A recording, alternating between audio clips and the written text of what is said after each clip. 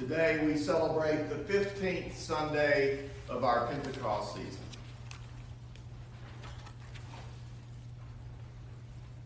Blessed be God, Father, Son, and Holy Spirit. Blessed be his kingdom, now and forever. Amen. Almighty God, to you all hearts are open, all desires known, and from you no secrets are hid. Cleanse the thoughts of our hearts by the inspiration of your Holy Spirit, that we may perfectly love you and worthily magnify your holy name through Christ our Lord.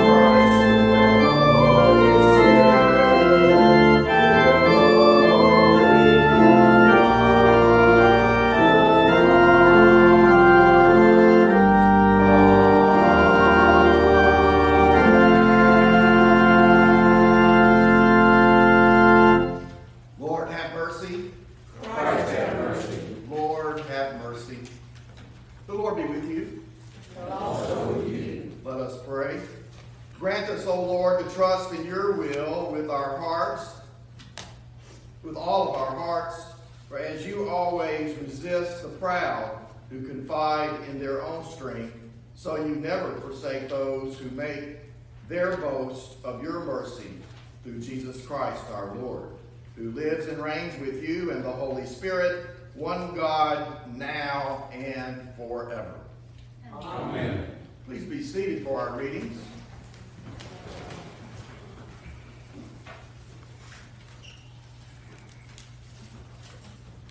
A reading from the book of Proverbs. A good name is to be chosen rather than great riches. In favor is better than silver or gold. The rich and the poor have this in common. The Lord is the maker of them all. Whoever sows injustice will reap calamity, and the rod of anger will fail. Those who are generous are blessed, for they share their bread with the poor. Do not rob the poor because they are poor, or crush the afflicted at the gate. For the Lord pleads their cause, and despoils of life those who despoil them. The word of the Lord. Thanks be to God. Please join me in reading Psalm 125. Those who trust in the Lord are like Mount Zion, which cannot be moved, but stands fast forever. The hills stand about Jerusalem. So does the Lord stand round about his people from this time forth forevermore. The scepter of those who shall not hold sway over the land allotted to the just, so that the just shall not put their hands to evil. Show your goodness, O Lord, to those who are good,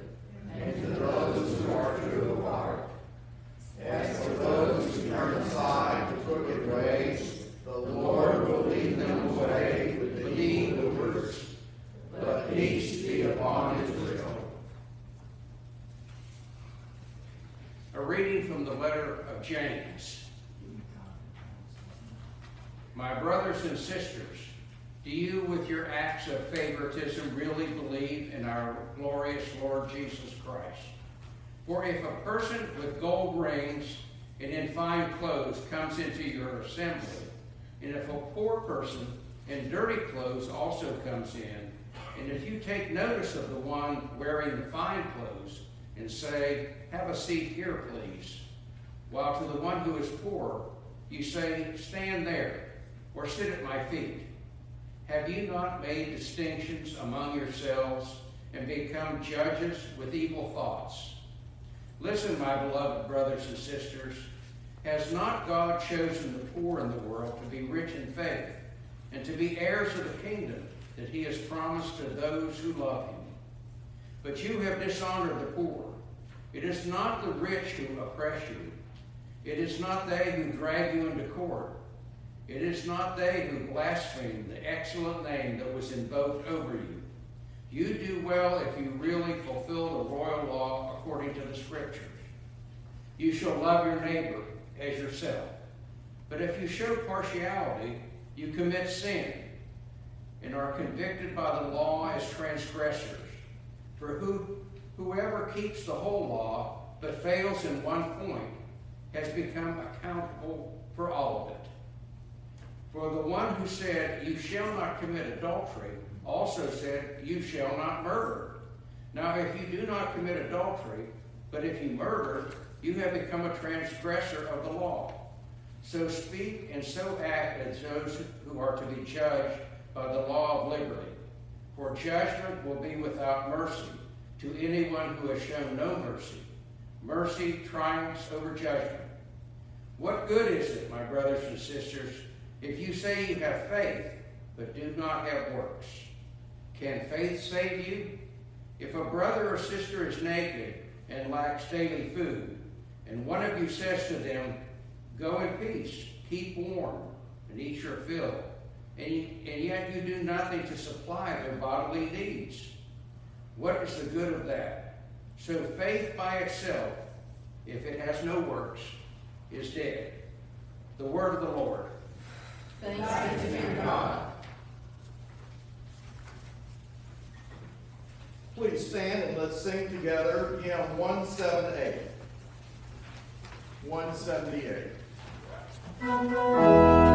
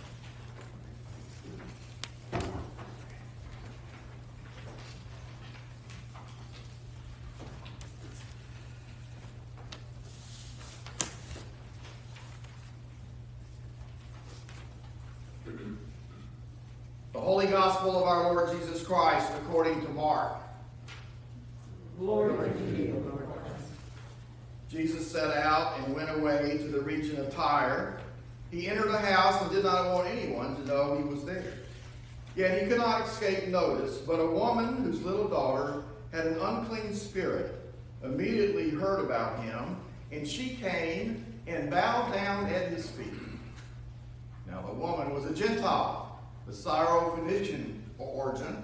She begged him to cast the demons out of her daughter. He said to her, Let the children be fed first, for it is not fair to take the children's food and throw it to the dogs. But she answered him, Sir, even the dogs under the table eat the children's crumbs. Then he said to her, For saying that, you may go. The demon has left your daughter. So she went home, found the child lying on the bed, and the demon was gone. Then he returned from the region of Tyre and went by way of Sidon towards the Sea of Galilee in the region of the Decapolis. They brought to him a deaf man who had an impediment in his speech, and they begged him to lay his hand on him. He took him aside in private, away from the crowd, and put his finger to his ears, and he spat and touched his tongue. Then looking up to heaven, he sighed and said to him, Ephphatha, that is, be open. And immediately his ears were opened, his tongue was released, and he spoke plainly. Then Jesus ordered them to tell no one. But the more he ordered them, the more zealously they proclaimed it. They were astounded beyond measure, saying, He has done everything well. He even makes the deaf to hear and the mute to speak. The gospel of the Lord. Praise to you, Lord Christ.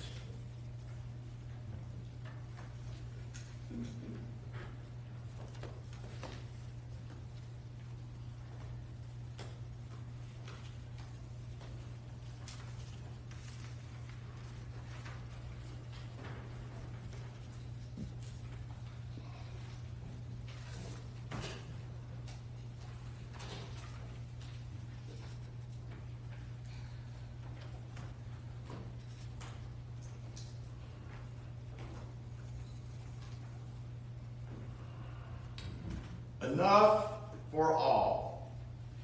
In the name of the Father, the Son, and the Holy Spirit, Amen. please be seated.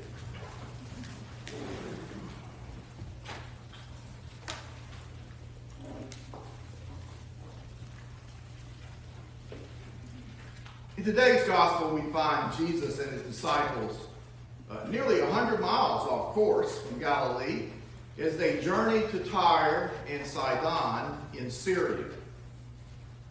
Well, they were deep in Gentile country and at the very heart of pagan land. It has been suggested that the Jesus tour was taking a well-needed break from the ministry to the Jews, and they just finished the feeding of the 5,000. Perhaps they thought that Jesus' notoriety would not be so recognized in this part of the country. However, as Jesus entered a particular place, a certain Syrophoenician woman did recognize Jesus and began to make a plea at his feet to heal her sick daughter.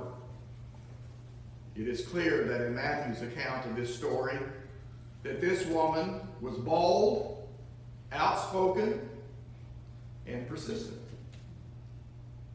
Bold, outspoken, and persistent. Now that would pretty much describe Edie, my boy's mother, her posture when she was uh, taking the position of taking care of her uh, boys, of protecting her boys. Even at 4'10 and hands on her hips, I have seen her raise up two feet in height to go eye to eye with a doctor or with an administrator a teacher that needs to get with the program of taking care of our sons in some better way. God bless her for that. I never underestimate the power of a mother through their desire and their tenacity and their persistence to protect or come to the aid to their children. The Syrophoenician woman had really three strikes against her as she boldly approached Jesus.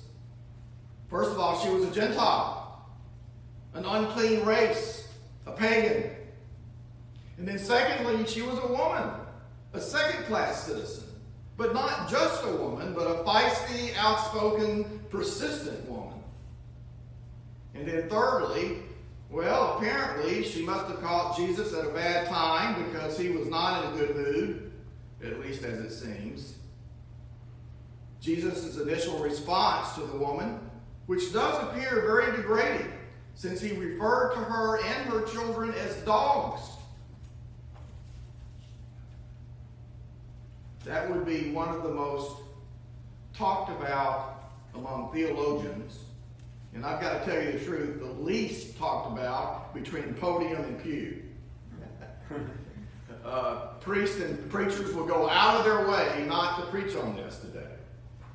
They'll, in fact, they look at the gospel and they say, Well, I think I'm going to preach on a psalm today. or maybe that beautiful epistle.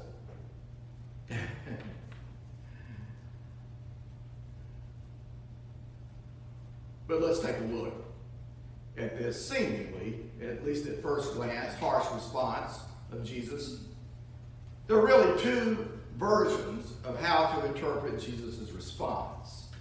The first version is that Jesus was satirizing in sort of a tongue in cheek fashion the racial and social prejudices of the Pharisees and many of the Jewish people, including his own disciples.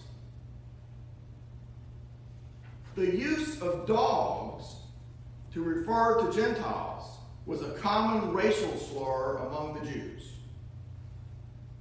But rabbis, God bless them, then and today, they have been known for their love of verbal fencing matches and their pure wit to illustrate, the creative wit to illustrate a point.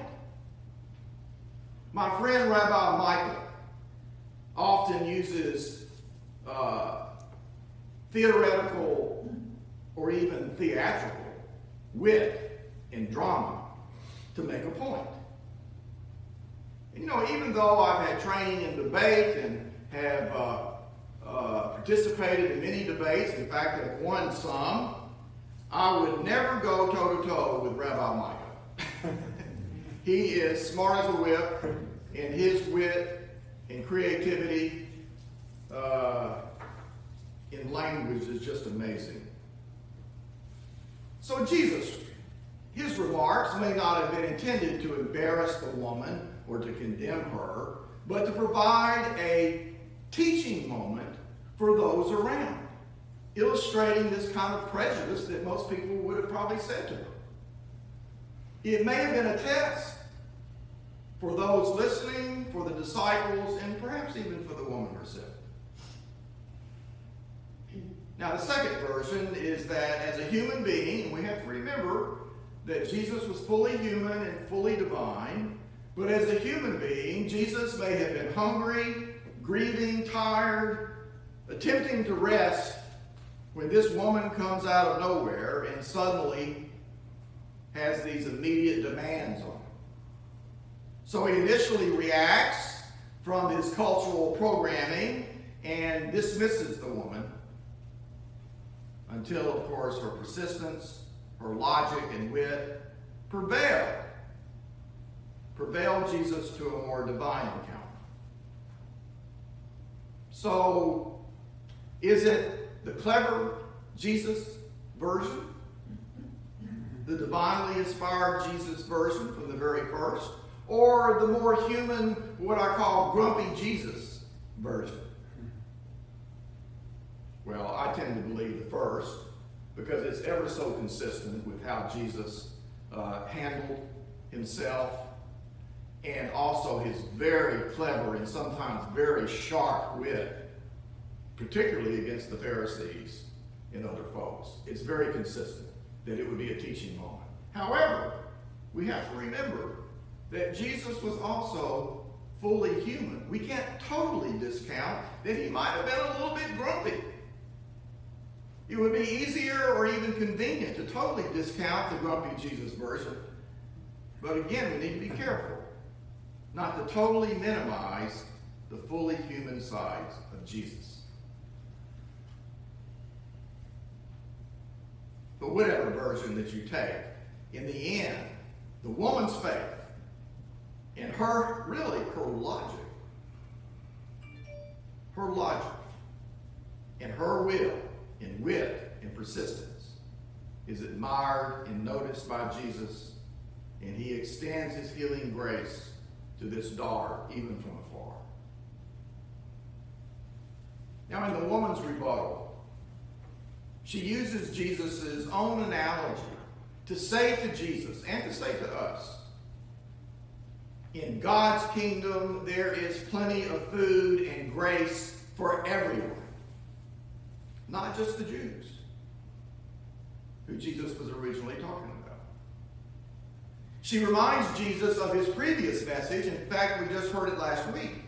This previous message to the Jews, where he radically challenges these purity laws by telling them that the externals are less important than the internal. The heart is more important. And the traditions are less important than the two great love commandments. And basically, she says to Jesus, Are you going to judge me by my externals or judge me by my heart? Now, I can just see Jesus with a twinkle in his eye, and maybe a little turned up smile on his lips, as he says, Oh, that's good. that's a good one. You go, girl. Woman, you've got faith. You passed the test. And your daughter's already healed. In today's gospel, the Syro-Phoenician woman represents the inclusion of Gentiles into the kingdom of God. It is a story that embraces the moment in which the kingdom of God breaks open and begins more inclusion. A moment in which we are all reminded that no one is outside of the embrace and grace of God. The woman came to Jesus trusting by faith that God's mercy is not limited to a particular guest list, in this case, just Israel, but all were invited and all will be fed by God's grace. God cares for us all. He knows our hearts. He knows our guilt, our needs, our desires, and He wants to bring us out of our deafness and help our tongues to raise our voices in song and thanksgiving with hope and praise because of this kind of grace. In today's gospel, Jesus challenges his listeners of the day, his disciples, his own disciples, and to be sure, he challenges us to reconsider our prejudices, our judgments, and exclusivity.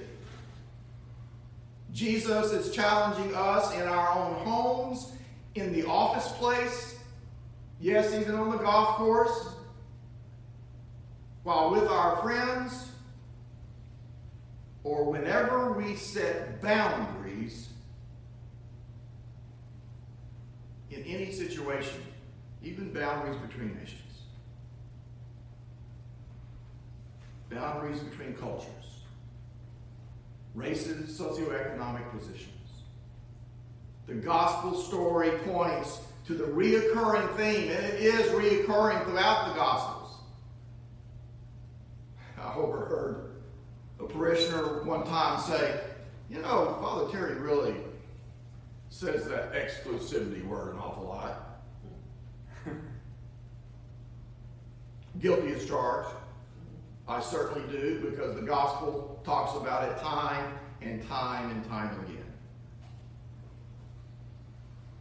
The gospel story again points to the reoccurring themes, and especially in our parables. The inclusive nature of God's love, His acceptance, His grace, certainly His salvation in the kingdom of God. Do we exclude those other people? Those different from us? Do we send them away like stray dogs?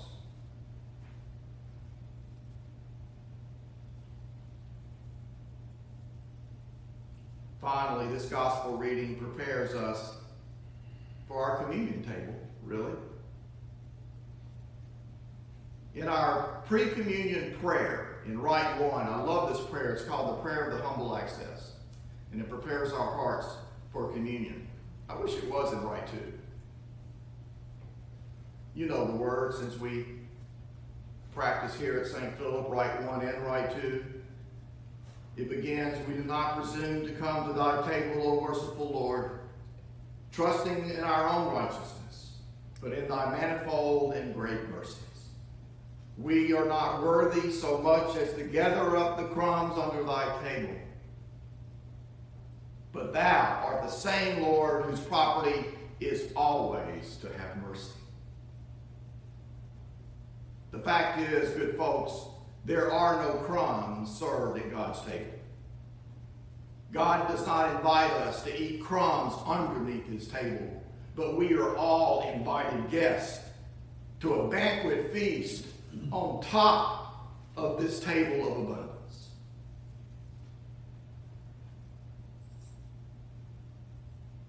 Let us have ears to hear and a voice to speak of God's wisdom and truth in this Holy Scripture.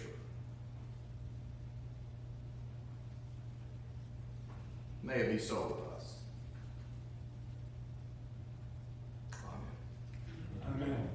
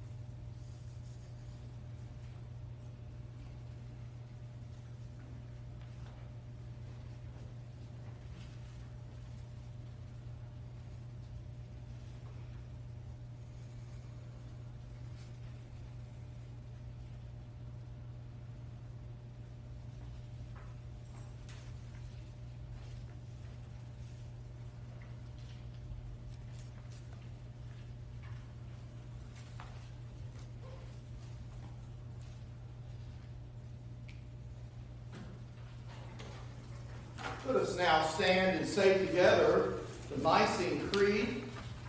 The Nicene Creed is the outline of our Christian faith. It is found on page 358 in the Book of Common Prayer and also in your service bulletin.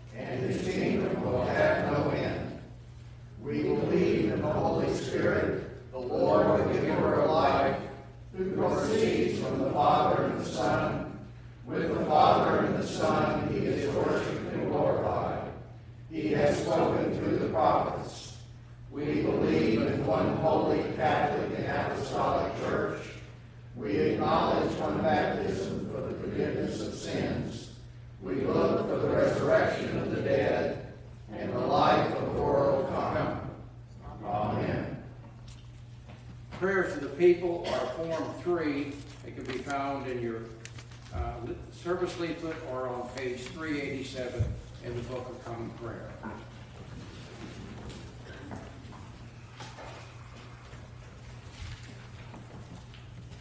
Father, we pray for your holy Catholic Church.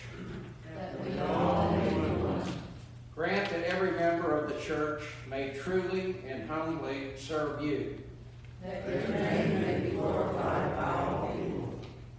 Re- Remembering especially Justin, Archbishop of Canterbury, Pope Francis of the Roman Church, Michael, our presiding bishop, the bishops and ministers of the Episcopal Church and the Anglican Communion, Phoebe, our bishop, and Father Terry, our priest.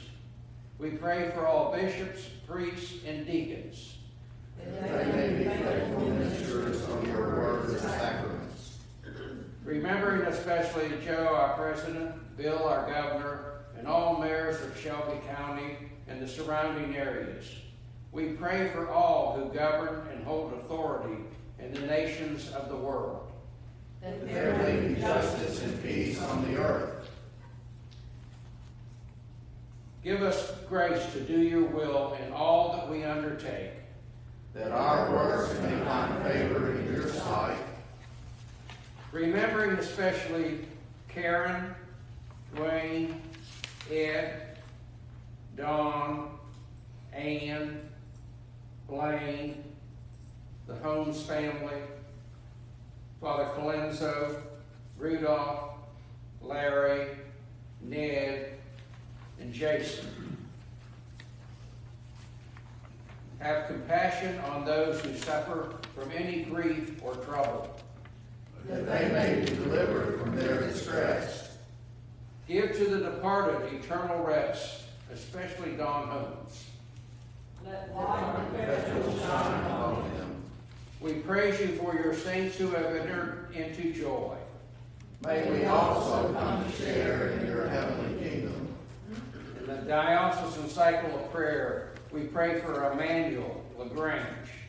We pray for the West Tennessee Haiti Partnership Mission. We pray for the Village Mission in Liberia, Africa. We pray for the peace of Jerusalem.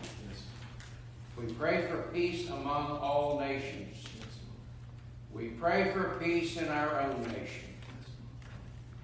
We pray for the protection and comfort of all those who serve this country in foreign and domestic lands, especially Jacob Stevens and Trevor Hawley. We pray for Christians that are being persecuted throughout the world. The altar flowers are given to the glory of God by Joni Posey in honor of John Posey's birthday. Let us pray for all members of our parish family celebrating a birthday, especially Virginia Lewis, Rebecca Holly, John Posey, Steve Shelton, James Pitcock, and Mary Potts. Let us pray for all members of our parish family celebrating an anniversary this week, especially Donnell and Melba Zanella. Let us pray for our own needs and those of others.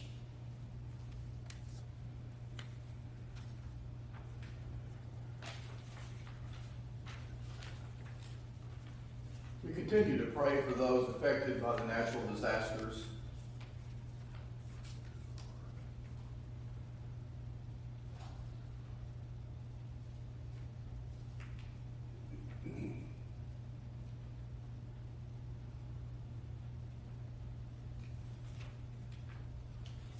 And we give thanks for all the blessings in this life.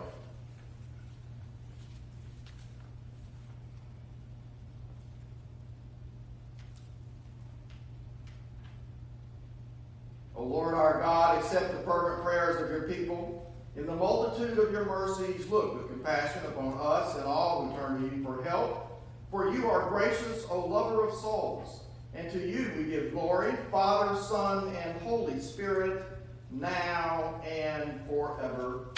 Amen. Now let us confess our sins against God and our neighbor. Our confession can be found on page 360 in the Book of Common Prayer and also in your service bulletin. together. Most merciful God, we confess that we have sinned against you in thought, word, and deed, by what we have done and by what we have left undone. We have not loved you with our whole heart. We have not loved our neighbors as ourselves. We are truly sorry, and we humbly repent. For the sake of your Son, Jesus Christ, have mercy on us and forgive us, that we may delight in your will and walk in your ways to the glory of your name. Amen. Almighty God, have mercy upon you, forgive you all of your sins through our Lord Jesus Christ, strengthen you in all goodness, and by the power of the Holy Spirit, keep you into eternal life. Amen.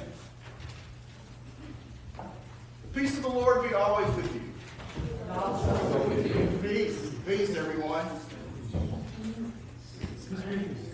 Good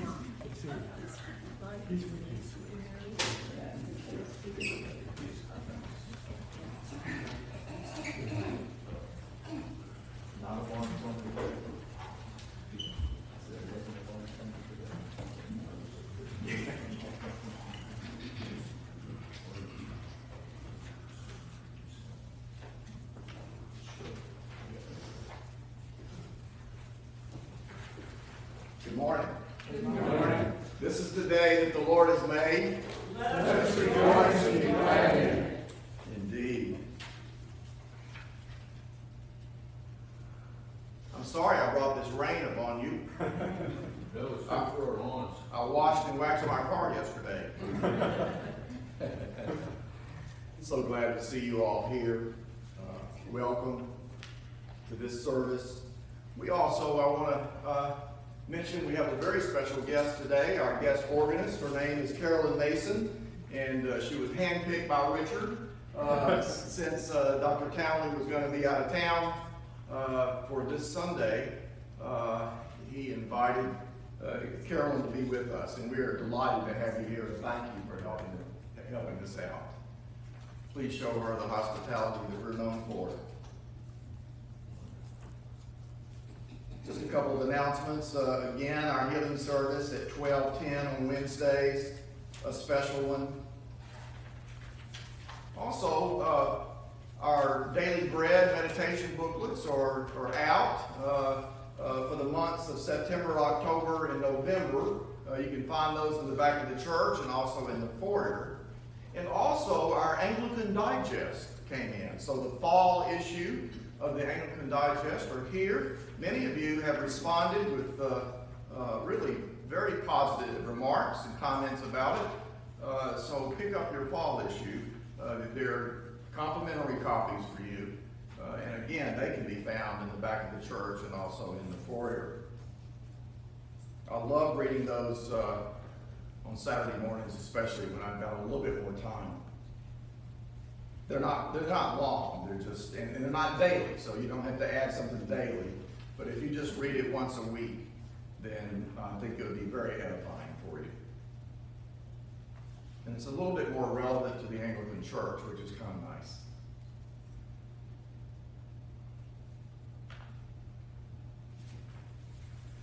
do want to remind you that this is the first Sunday of the month, which is designated as the uh, St. Philip Discretionary Fund Sunday. And that's where you give, hopefully generously, uh, uh, to the discretionary fund. Now, you, don't have to give just for just today. You can send a check or bring money in at another time. But that is a very uh, uh, powerful ministry that you all have here and that I, uh, you know, administer on your behalf. Um, but it, it is really a powerful ministry in that it helps people in our parish, in the city, in our nation, and even globally as uh, I'm able to give to foreign missions as uh, well. So please continue, as you have in the past, uh, to give generously to that really, at this time, the most active ministry that we have. May I make a comment? Yes, If you are so inclined to donate, particularly like with the Ida aftermath, please donate directly to the charity. Do not do it through Facebook. Oh, They either take a cut or they can hold the funds for two to three months. And that money needs to be given immediately. So, I mean, the Episcopal Relief and Development, it's got a button particularly for Ida Relief. So, thank you, do Mary. it that way. Mary is saying, please be careful if you so have the heart to give to the recent storm of Ida. Uh, to be careful about Facebook contributions. In fact, the Episcopal Church has uh, its own uh, uh, sort of charitable giving. Uh, uh, the Episcopal Relief and Development. Relief and Development. Uh, and you can go to that website, or you can go to the Episcopal Church website and find that particular site. And uh, if you give money to them, I can assure you that they will make sure that that gets to the correct place. And they are highly rated, by the way. If you go through those rating systems to see who's really, you know, keeping the money and spending the money, uh, they've always been highly rated. Thank you, Mary, for that. Uh, and of course, that's an ongoing ministry that they have uh, throughout our nation and also throughout the world. it's- Yeah. That uh, link is in our, is on our webpage, that, Oh. uh, for the uh, diocese webpage. Oh, That we wonderful. have on our Okay. website. So you can also go to our web webpage and find that as well. Thank you, Mary. okay. No, that's a, that's a good warning and also a good direction uh, to giving.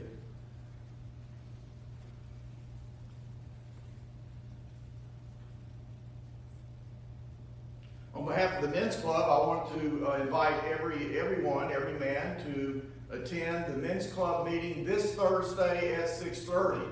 Uh, un- unfortunately, they've had to cancel two meetings, and so it's very important that we, that we have this meeting. They're gonna have the election of officers, uh, so please do come and support. Uh, really, the men's club is the ministry of this church, so please come and support that ministry, six thirty, uh, in the parish hall. Are there any other announcements that we might have?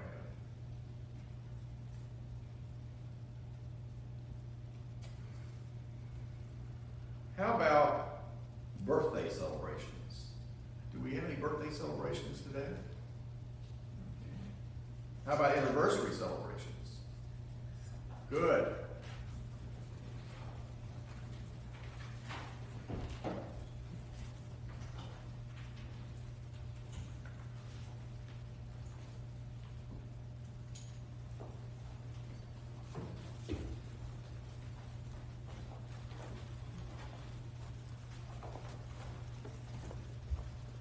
All right. No, let me get my mask, sorry.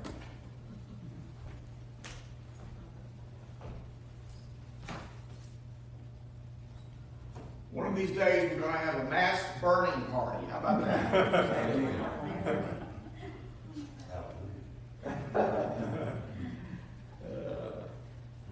Glad you all are here. Really, really. Thank you.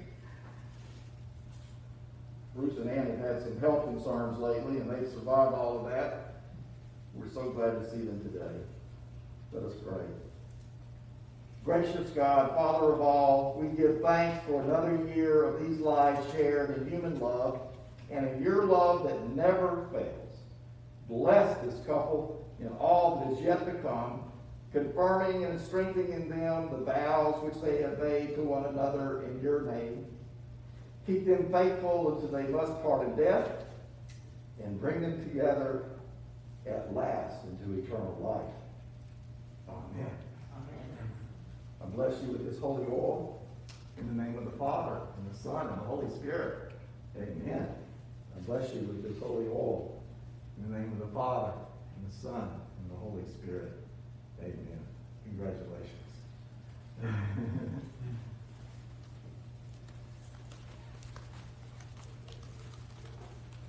Any others?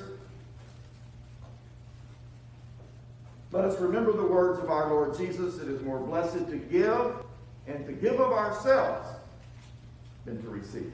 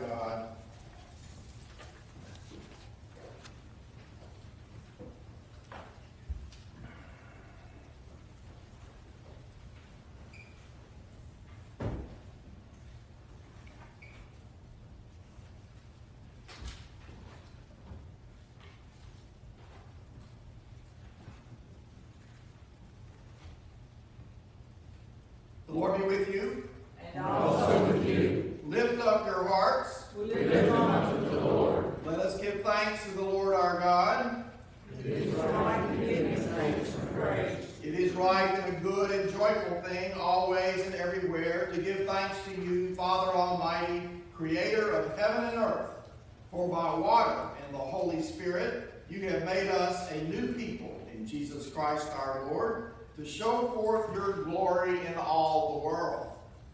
Therefore, we praise you, joining our voices with angels and archangels, and with all the company of heaven, who forever say this hymn to proclaim the glory of your name.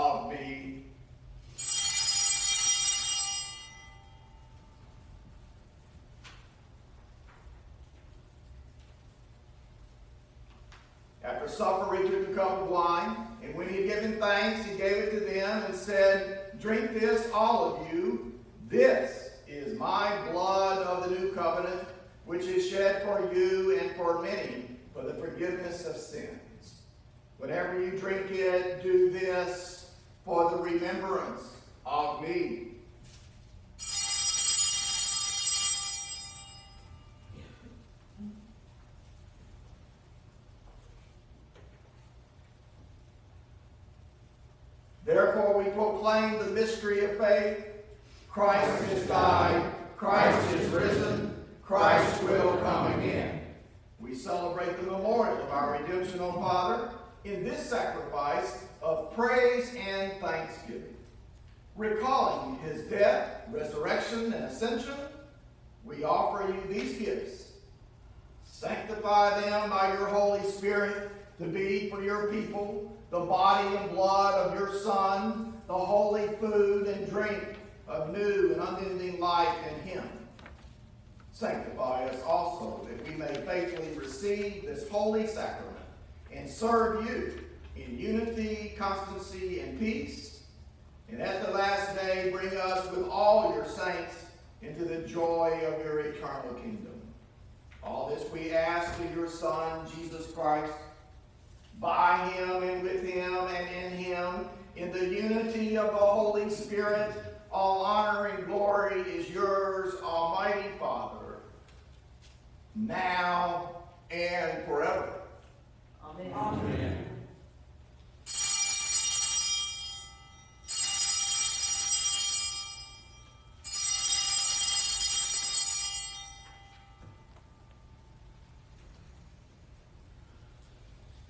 And Now, as our Savior Christ has taught us, we are bold to say, Our Father, who art in heaven, hallowed be thy name. Thy kingdom come, thy will be done, on earth as it is in heaven. Give us this day our daily bread, and forgive us our trespasses, as we forgive those who trespass against us. And lead us not into temptation, but deliver us from evil. For thine is the kingdom, and the power, and the glory, forever and ever. Amen.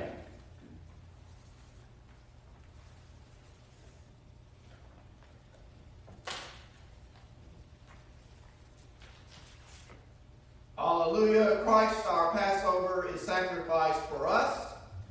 Therefore let us keep the feast. Hallelujah. O Lamb of God, you take away the sins of the world. Have mercy upon us. O Lamb of God, you take away the sins of the world. Have mercy upon us. O Lamb of God, take away the sins of the world. Grant us thy peace.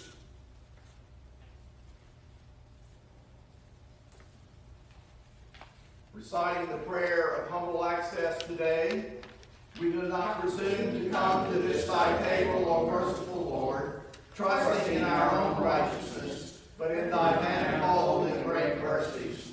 We are not worthy so much as to gather up the crumbs under thy table, but thou art the same Lord whose property is always to have mercy.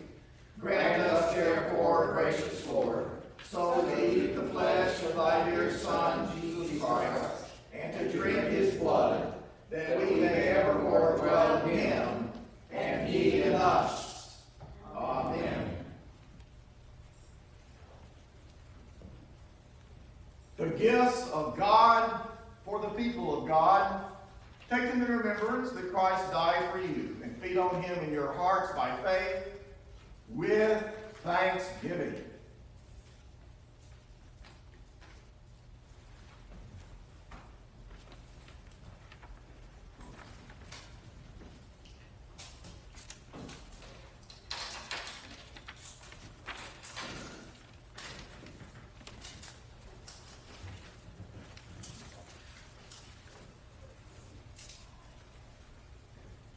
Body and blood of our Lord Jesus Christ, keep me there.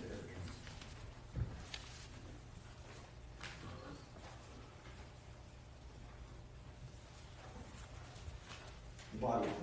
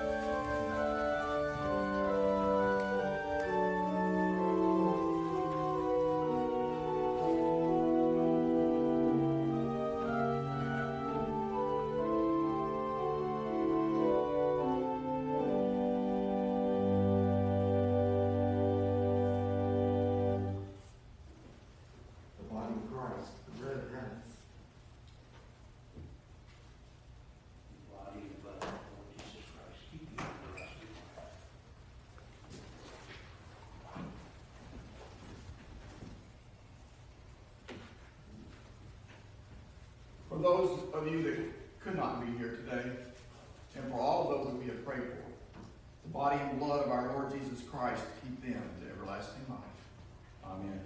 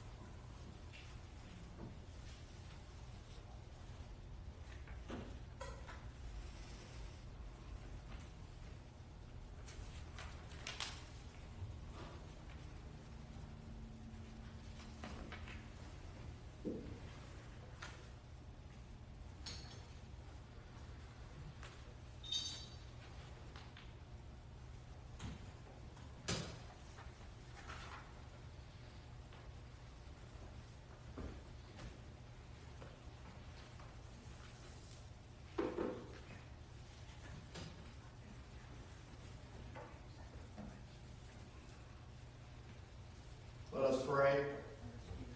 Eternal God, Heavenly Father, you have graciously accepted us as living members of your Son, our Savior, Jesus Christ. And you have fed us with spiritual food in the sacrament of his body and blood. Send us now into the world in peace,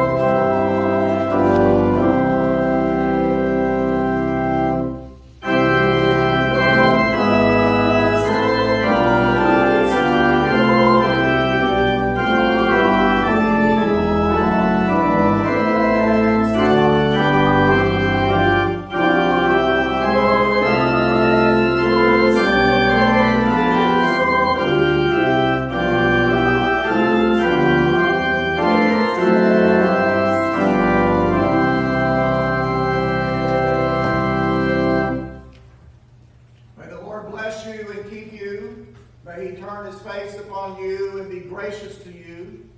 May he turn his countenance upon you and bring you peace. And may the blessings of God Almighty, Father, Son, and Holy Spirit be with you now for the rest of this Sabbath day, for the rest of your upcoming week, during our great Pentecost season, and forevermore. Amen. Amen. Let us go in peace to love and serve the Lord. Thank you. Hallelujah. Hallelujah. Just two.